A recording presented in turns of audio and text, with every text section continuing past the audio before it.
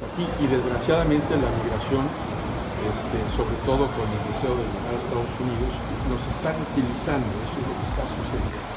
Están utilizando a Cancún como un punto de, de, de trampolín, ¿me explico? Entonces, pues eso ha presentado unos problemas.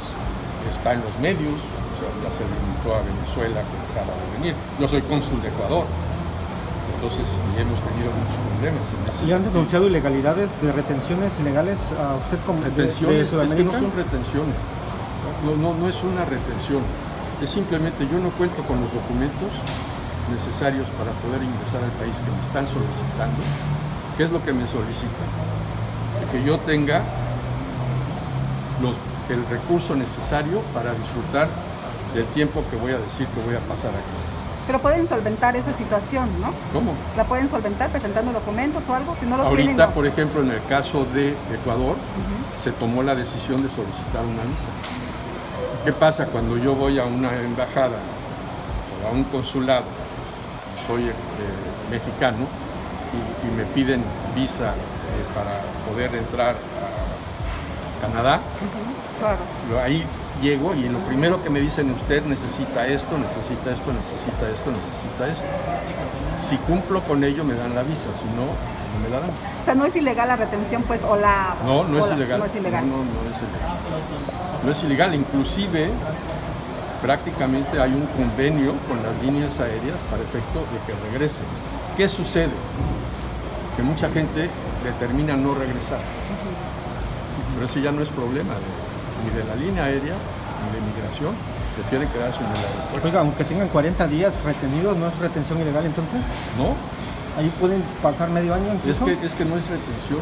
Es que, ¿qué Pero se ¿por hace? qué no se hace la gestión? No pregunto, ¿por qué no se hace la gestión para regresarlos a su lugar de origen? Es que si no quieren regresar, los derechos No Más lo bien pueden ellos están de forma ¿eh? los irregular, derechos ¿no? humanos de los niños, porque hay niños ahí, hay una señora embarazada que también tiene, sí por eso, pero ¿qué se hace? Lo que yo me refiero es que, que- ¿qué puede hacer? nuestra constitución política mexicana habla de que cuando una persona entra a nuestro país tiene derecho de libertad.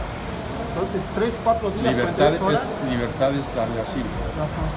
Eso, eso ya, es- ya, ya no depende de migración, dependería de otro, de otro tema. La Y en el momento, Exteriores. si yo tengo la intención, si yo ya no cumplí con lo que me están solicitando para entrar al país, lo primero que voy a tratar de hacer es en el momento que yo salga del aeropuerto, es bajarme del coche en el que me van a llevar a una casa. No, no puede ser de seguridad, porque entonces ya implica el tenerlo detenido.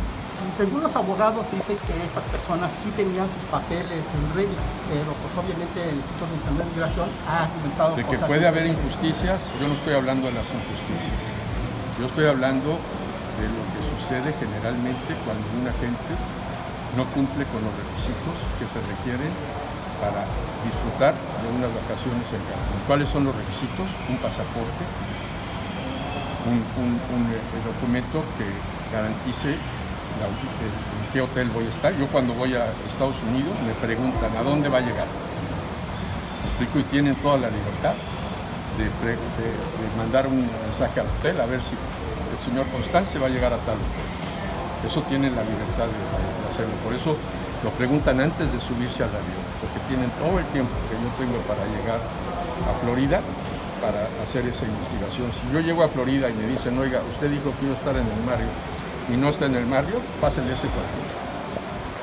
Y no me están deteniendo, simplemente yo fui el que no, no di la apelación. Si llego a Estados Unidos con mi familia, tres hijos, ¿cuánto dinero trae usted?